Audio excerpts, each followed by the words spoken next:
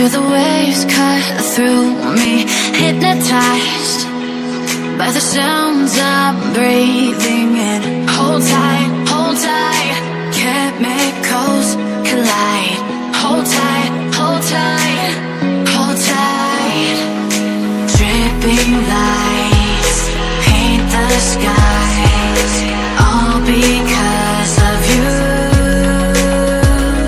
নমস্কাৰ বন্ধু বান্ধৱীসকল মই মিতালী ৰাণীয়ে আপোনালোক সকলোকে মোৰ এই চেনেলটোলৈ স্বাগতম জনাইছোঁ। আশা ৰাখিছোঁ আপোনালোক আটাইয়ে ভালে আছে ময়ো আছোঁ। বন্ধু বান্ধৱীসকল আজি মই আপোনালোকলৈ লৈ আহিছোঁ চাহৰ এটি সুন্দৰ ৰেচিপি আৰু এই ৰেচিপিটোৰ নাম হৈছে তন্দুৰী চাহ। গতিকে আহক পলম নকৰি এই তন্দুৰী চাহ মই কেনেধৰণে বনাওঁ আপোনালোকে চাই লওক। প্ৰথমে মই গেছ অন কৰি ল'ম।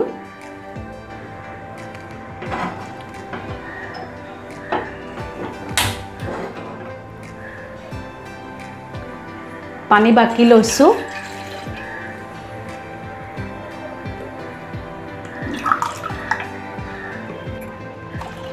পানী গৰম হ'বলৈ দিলোঁ। আমি সকলোৱে চাহ বনাবলৈ জানোৱেই।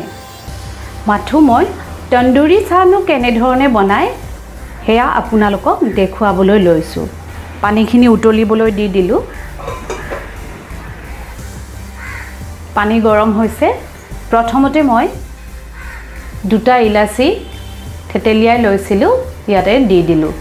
ইলাচি আদা আপোনালোকৰ যিটো ভাল লাগে তেনেধৰণে আপোনালোকে দি দিব।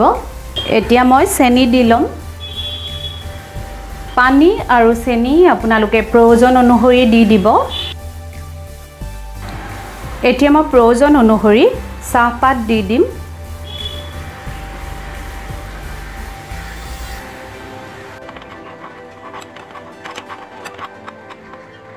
সকলোৱে খুব ধুনীয়া চাহ বনাব জানে। চাহ বনাবলৈ আচলতে কাকো শিকাবলগীয়া কথা নহয়। মই মাথো আপোনালোকক দেখাবলৈ লৈছোঁ তন্দুৰী চাহনো কেনেধৰণে বনায় সেই পদ্ধতিটো। বজাৰত গ'লে আমি তন্দুৰী চাহ খাই থাকোঁ। আমি ঘৰতনো কেনেদৰে অতি সহজতে তন্দুৰী চাহ বনাই খাব পাৰোঁ সেয়াহে মই আপোনালোকক দেখুৱাবলৈ লৈছোঁ। এতিয়া ইয়াতে গাখীৰ দিব পৰা হৈ গৈছে। গাখীৰো প্ৰয়োজন অনুসৰি দি দিলে হ'ল। এতিয়া মই গাখীৰ দি দিওঁ।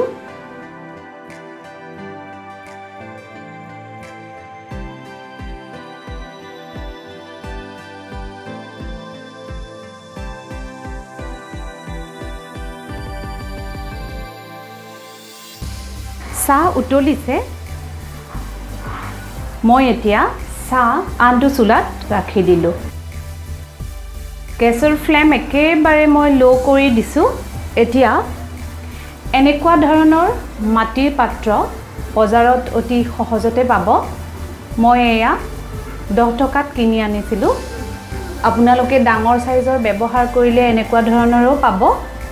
মই কিন্তু তন্দুৰী চাহ বনাবৰ বাবে এনেকুৱা মাটিৰ পাত্ৰহে ব্যৱহাৰ কৰিম। এই পাত্ৰটো মই খুব ধুনীয়াকৈ ধুই ৰ'দত শুকুৱাই লৈছোঁ। এতিয়া মই এই পাত্ৰটো জুইত সেকি ল'ম। গেছৰ ফ্লেম একেবাৰে ল' কৰি লৈছোঁ আৰু মাটিৰ পাত্ৰটো সেকিবলৈ দি দিছোঁ। খুব ধুনীয়াকৈ এই পাত্ৰটো আমি সেকি ল'ব লাগিব।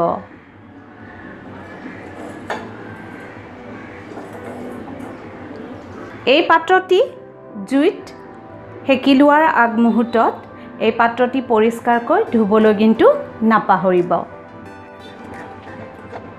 দেখিছেনে আপোনালোকে? এই পাত্ৰটি সেকিবলৈ লোৱাৰ লগে লগে এনেদৰে ক'লা পৰিবলৈ ধৰিছে। এইটোৱে হৈছে তন্দুৰী চাহৰ ছিক্ৰেট এতিয়া ভিতৰখন সেকিবলৈ দিম। খুব সাৱধানে কৰিব লাগিব। গৰম হৈ আছে। পাত্ৰটিৰ ৰং সলনি হ'বলৈ ধৰিছে।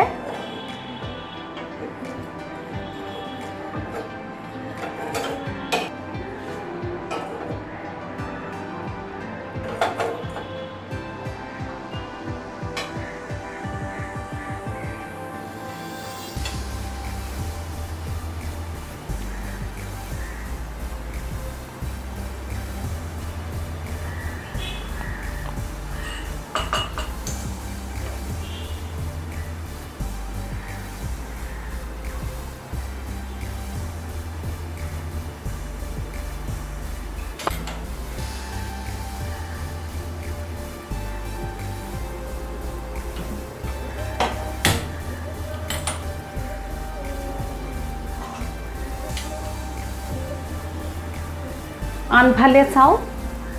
এতিয়া ল' ফ্লেমতে মই চাহখিনি আকৌ অকণমান গৰম কৰি ল'ম কাৰণ চাহখিনি ঠাণ্ডা হৈ গৈছে।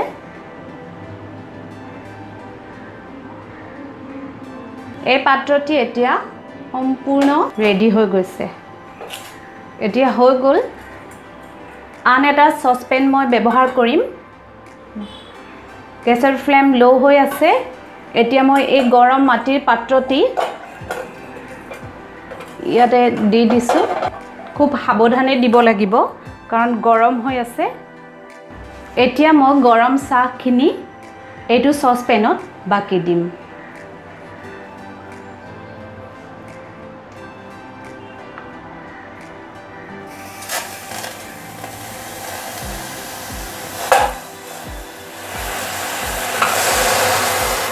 দেখিছেনে কি ধুনীয়াকৈ ফুলি আহিছে? এইটোৱে হৈছে তন্দুৰী চাহৰ বিশেষত্ব। এই মাটিৰ পাত্ৰটি জুইত সেকি লৈছিলোঁ আৰু এই মাটিৰ পাত্ৰটিৰ স্মকি ফ্লেভাৰটো এতিয়া এই চাহত আহি যাব।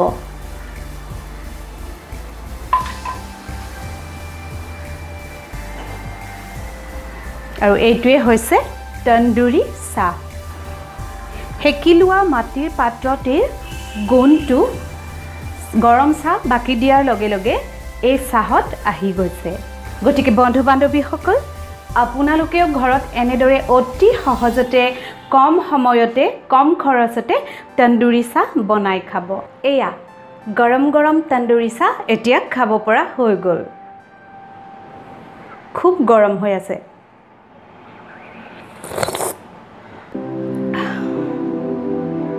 সঁচাকৈ বন্ধু বান্ধৱীসকল খুব ধুনীয়া হৈছে। কিন্তু আপোনালোকে মোৰ কথাত বিশ্বাস কৰিব নালাগে। আপোনালোকে এই ৰেচিপিটো নিজে ঘৰত বনাই খাব আৰু যদি মই কোৱা ধৰণৰ সোৱাদ এই ৰেচিপিটোত পাইছে তেতিয়াহ'লে মোৰ এই ভিডিঅ'ৰ তলত কমেণ্ট কৰিব লাইক কৰিব আৰু শ্বেয়াৰ কৰিব। বন্ধু বান্ধৱীসকল আজিলৈ ইমানতে সামৰিছোঁ। ধন্যবাদ।